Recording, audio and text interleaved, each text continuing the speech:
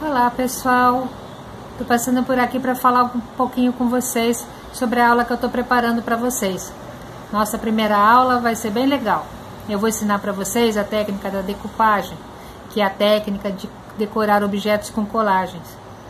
A gente pode decorar esses objetos com colagens de papel, como por exemplo folhas de guardanapo, papel de presente, folhas de revista, a gente pode decorar objetos com colagens de tecidos ou com colagens de qualquer material que você queira e que possa transformar o objeto que você está decorando numa obra de arte, dando para ele um novo visual e um novo valor. Você vai poder utilizar esse objeto ou para decorar sua casa, ou para dar de presente, ou até para vender. Na nossa primeira aula, a gente vai aprender a fazer a técnica da decopagem numa garrafa de azeite, como esta. Nós vamos pegar essa garrafa de azeite que a gente geralmente joga fora ou qualquer outra garrafa que a gente tiver em casa. A partir de hoje a gente não joga mais fora a garrafa, a gente vai decorar todas elas com várias técnicas diferentes.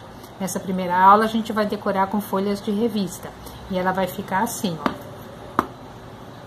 Nosso primeiro trabalho vai ser esse, a gente vai decorar a garrafa de azeite e vai transformar ela nesse bonito objeto de decoração.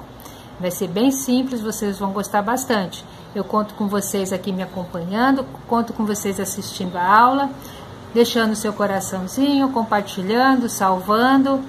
Estou esperando vocês na primeira aula, pessoal. Logo, logo ela vai estar aqui.